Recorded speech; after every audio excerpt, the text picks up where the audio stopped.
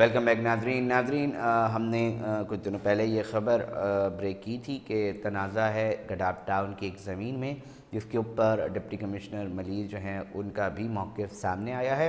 हमारे रिपोर्टर हैं तारिक काजमी उनसे तफसलत मजीद लेते हैं। जी तारिक बताइएगा क्या तफसलत हैं आपके पास?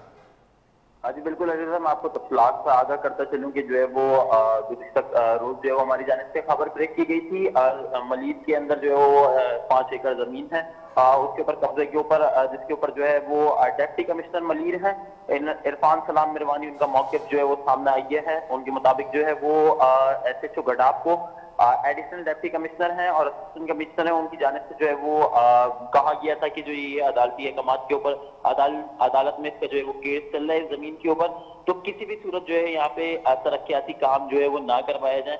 जब देखा ये कि वहाँ पे तरक्याती काम हो रहे हैं तो उसके बाद जो है वहाँ पे ऑपरेशन किया गया जिसकी जो तमाम जितनी भी जो है तामीराती काम था उसको मिसमार किया गया और मुनदम किया गया। उसके बाद जो है वो आज इरफान सलाम मेहरबानी है डिप्टी कमिश्नर उनकी जानब से एक लेटर का इजरा किया गया। तमाम कमिश्नर तमाम जो है वो इदारों को और ज़मीन की हिफाजत को यकीनी बनाने की जो है वो अहकाम भी जो है लेटर में तारिक काजमी क्या कहा गया है? जी अलियाजा मैं आपको बताऊँ कि लेटर में कहा गया है कि जो ज़मीन है उसको जो है वो हिफाजत फराम की जाए, क्योंकि इस ज़मीन के ऊपर जो है वो अदालती, अदालत के अंदर जो है वो केस दायर है, जिसके ऊपर स्टे हुआ हुआ है। तो वहाँ पे किसी भी किस्म की जो है वो तामीराती काम नहीं हो सकते। लेटर के अंदर लेटर जो है वो deputy commissioner director anti encroachment S P honourable जो है वो सन हाई कोर्ट को जो है वो लिखा गया है।